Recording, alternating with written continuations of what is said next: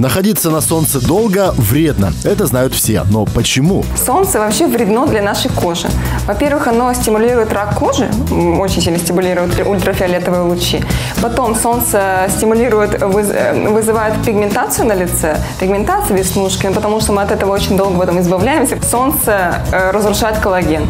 А уж поверьте мне, мы потом очень долго его стимулируем и восстанавливаем, чтобы выровнять э, личико, тургор кожи, да, и избавиться от каких-то морщин. Конечно, это совсем не значит, что из дома выходить можно только после заката или что нужно укутываться в полотно полностью. Нужно просто грамотно выбирать уход. И сейчас э, выпустилось много э, увлажняющих кремов уже с э, SPF-фактором, уже с защитой солнцезащитной. В основном это 20-20, э, ну, уровень защиты 20 в этих э, увлажняющих кремах есть. То есть можно уже начать выбирать такие крема, и плюс уже будет какая-то защита повседневным уходом.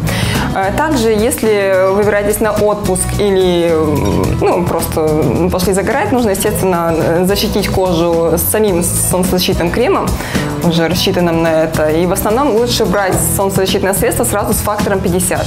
Это будет практически стопроцентная защита для вашей кожи. И не переживайте, такой крем не помешает вам получить желаемый шоколадный загар. Солнцезащитные средства, они в первую очередь не дадут сгореть и как раз-таки перейти тот порог, когда уже загар будет вреден для вашей кожи. То есть, конечно же, э, загар небольшой будет, но он только будет ровненький. Э, но сгореть вы не сможете, особенно с высоким фактором защиты. Для того, чтобы загореть, совсем не нужно лежать часами под палящим солнцем. Так вы делаете себе и своему организму только хуже. Чтобы загореть. Да, все мы хотим, естественно, загар, это красиво, это мы все ждем лето. Э, не нужно по 40 минут, по несколько часов в день э, лежать звездой на солнце.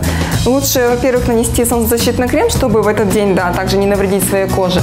Также лежать в день на минут 15 хотя бы и желательно до часа из 4 часов дня.